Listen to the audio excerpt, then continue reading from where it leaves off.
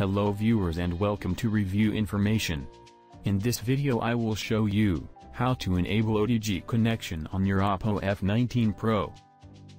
Subscribe to my channel and hit the bell icon to get notified any updates. To begin, go to Settings. Swipe up to go down. And find, Additional Settings. Tap on it. Here you will find the option, OTG connection. Simply touch the slider to enable this. That's it. Now you can use any USB device using OTG cable.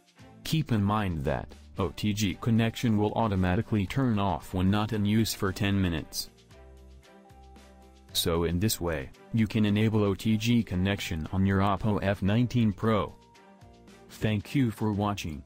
Hope you guys enjoyed my video. Please subscribe my channel for more videos. Goodbye.